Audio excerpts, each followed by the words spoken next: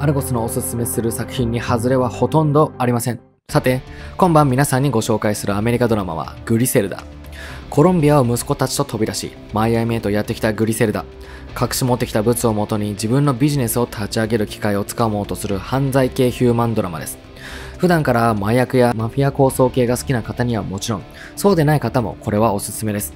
主人公が珍しく女性ということもあり、一昔前までは女性が社会で活躍することがどれだけ難しいことだったかが感じ取れる内容でもあります。